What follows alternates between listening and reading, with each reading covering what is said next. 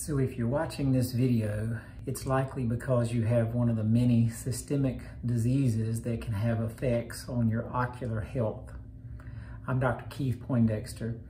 That list of diseases includes things like diabetes, blood pressure, cholesterol, thyroid disorders, also things like autoimmune diseases in terms of lupus or Sjogren's or rheumatoid arthritis or fibromyalgia.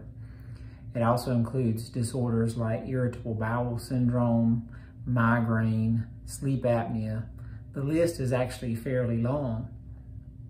An eye exam is unique in so much as the eye is the only place within your body where we can see your blood vessels without cutting you open.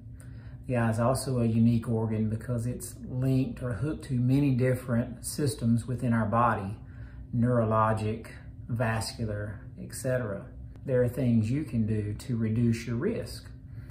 That includes things such as watching what you eat, taking your medication according to schedule, seeing your doctor regularly, and of course exercise. All these things play a role in our overall health, including our ocular health. So aside from determining what best glasses or contact lens prescription works for you, we're also highly concerned about your ocular health.